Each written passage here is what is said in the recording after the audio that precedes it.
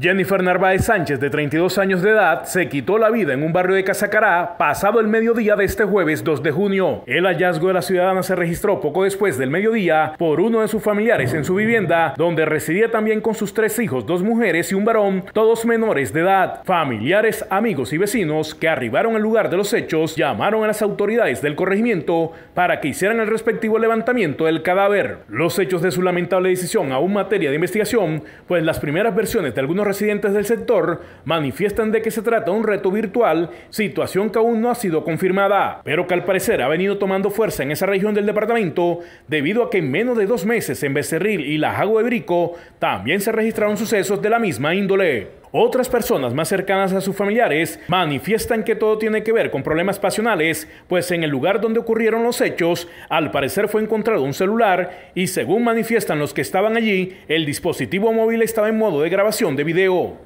¿Sabías que enviando tus giros por Supergiros, además de ahorrar tiempo, dinero y desplazamientos innecesarios, puedes ganarte el valor de tu giro? Sí, con el Supergiro ganador. Visita tu punto Supergiros más cercano y gana el valor de tu giro. ¿Para qué giros? Cuando hay Supergiros. Colaborador autorizado, vigilado Mintic.